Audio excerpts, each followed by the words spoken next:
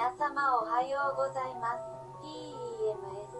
PEMS、リッスン EVOA、日本語英語リスニング教材サイトで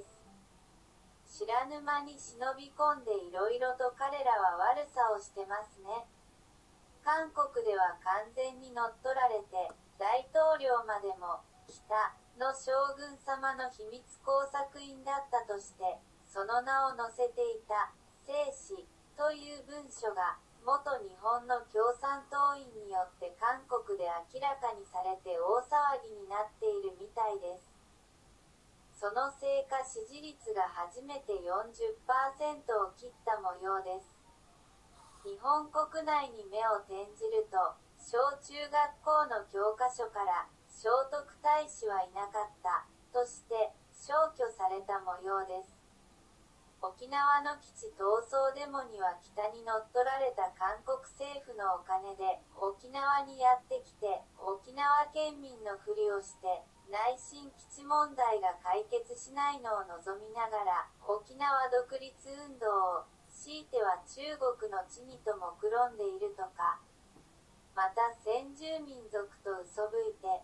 その独立とかを掲げて北海道の日本からの分離を目標にしてるとか、アイヌ新法とか言って日本国民の税金から何十億というお金を合法的にした形で奪って、みんなで優雅に沖縄旅行に行ったり、大学入学に童話枠、アイヌ枠とか作って、好き勝手にやっている。ここで思い出した。たくさんの中国人留学生を行き帰りの旅費と日本での生活費、学費を奨学金として無料で貸与している。一方で日本人学生が奨学金という氷菓子の重い負担に苦しんでいるのに議員たちは何らの助けの手を伸ばさない。国会議員は何やってるのと、頑張って日本を守ってよ、と思ったら、議員の中には朝鮮半島出身の議員が何人もいるとか。だから反日的な法律が簡単に通るんだ。せめて最低我らが代表の出自は誰にでもわかるようにしようよ。出身地を隠して当選した奴は即刻クビに。彼らは名前を変えて日本人を装っているとか。在日朝鮮人、韓国人のみならず半島出身者もいるとは驚き、日本人との結婚などで元の朝鮮名を隠すとか、いろいろあるらしい。そんなわけで、ヘイトスピーチ禁止法案とか、日本の悪口を言うふうには良いが、韓国人、朝鮮人の実態を描写するだけでヘイトと言われる一方的な悪法が通ってしまう嘘の慰安婦徴用工原子力汚染水とか散々自国ののみならず世界中で広め何かというと我らが代表である安倍総理の悪態をつき罵り写真や国旗を踏みつけたり燃やしたりそれなのに外国人が韓国国旗を踏みつけたら劣化のごとく起こる。き勝手に彼らにやらせるのは終わりにしましょう。偉大で日本の基礎を作った聖徳太子を教科書から消し去ろうとする集団、そして素性を隠して日本の衰退を画策する連中を明らかにして、これ以上のさばらせないようにしよう。そして小さな体で、アジアを白人の奴隷から解放した我らが父や祖父らの名誉を復活しよう。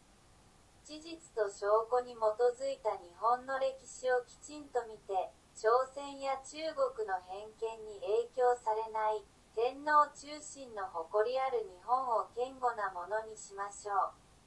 う。嘘と悪企みの韓国、中国に付き合って、日本の誇りを葬り去ることだけは止めましょう。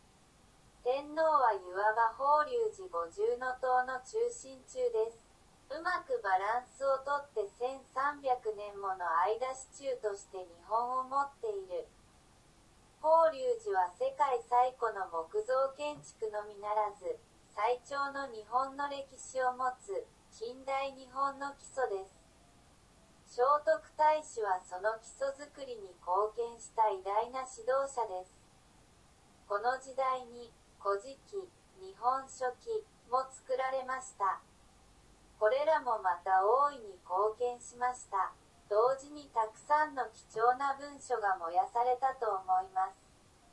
第二次世界大戦直後のたくさんの日本の書物が廃棄されたように、でもその前があったればこそこの基礎も作られたことを理解し、隠されて保存された文書や世界が認めているのに、日本が一部の人しか知られていない文書や琵琶国絵文字などの掘り起こしを一部既得権益受益者の歴史学者に任せず、再発見、再認識して、日本の歴史を改め直しましょう。今や、重機や艦船、原子爆弾、細菌爆弾そしてレーザー照射ミサイルなどの道具、機械、AI 含む IT などものによる目に見える戦争ではない形で侵略されています。その一例が文大統領の韓国です。日本もそうなる前に目覚めましょう以上です。ありがとうございます。一寸 2VOA でした。